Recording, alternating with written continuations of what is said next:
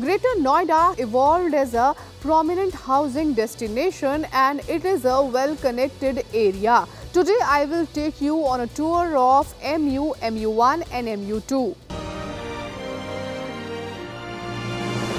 Hello and welcome to another episode of MBTV's Locality Review. I'm Shilpi Dudeja. Let's explore all these sectors on the basis of its infrastructure, development, connectivity and civic indicators. But before moving ahead, don't forget to subscribe MBTV.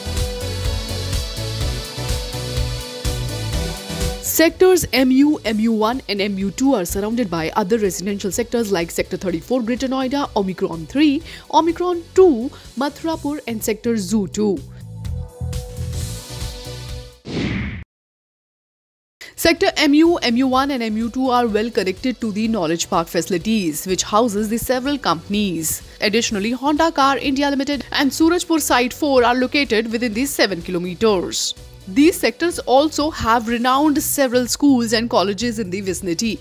Aman Public School, Scholars Home International School and White Canvas Preschool are located within a range of 3 kilometers. For higher education, there is a Bennett University by the Times of India Group, which is about 6.4 kilometers away. Additionally, various colleges in Knowledge Park 1, 2 and 3 are also easily accessible from here. Galgotia's College of Engineering and Technology, Sharda University and IIMT College are few to be named.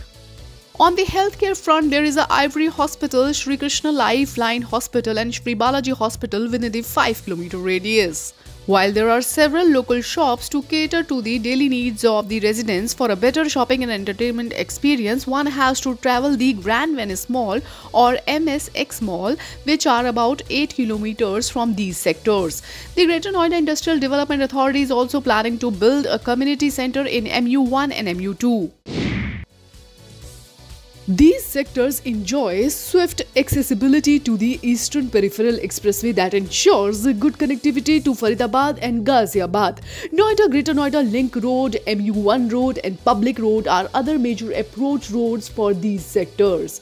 Noida Greater Noida Expressway is the best route to reach Delhi and Noida for these sector. From MU, MU1 and MU2, depot station on Aqua Line is 3 to 4 kilometers far. From GNIDA office, it is 4.5 to 5 kilometers. For intercity connectivity, one can easily reach Boraki railway station which is 5.7 kilometers from these sectors. Indira Gandhi International Airport is about 55 kilometers which takes anywhere from 1 hour 20 minutes to 1.5 hours in normal traffic conditions. While that seems far, the residents of these sectors will benefit once the Jewar airport is operational as distance and travel time will reduce to some extent.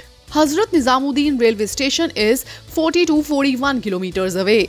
New Delhi railway station is around 47 to 49 kilometers.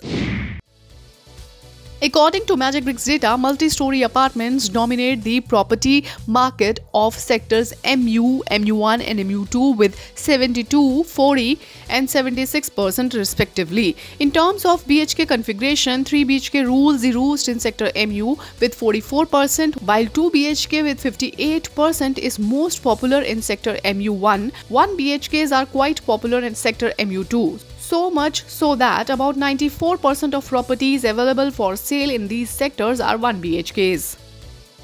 For more information about these sectors, log on to www.magicbricks.com and you can find the URL in the description box as well. Noida Power Company Limited provides electricity in these sectors while Noida Jal Board takes care of water supply.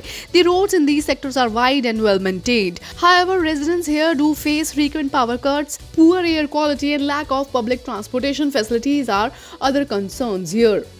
If you have a long-term investment horizon and you are looking to buy property in Greater Noida with mediocre budget, then these three sectors definitely deserve a visit. I hope you like this video. For more such locality reviews, you can subscribe to MBTV with camera person Manish Sharma. This is Shilpi Dudeja signing off.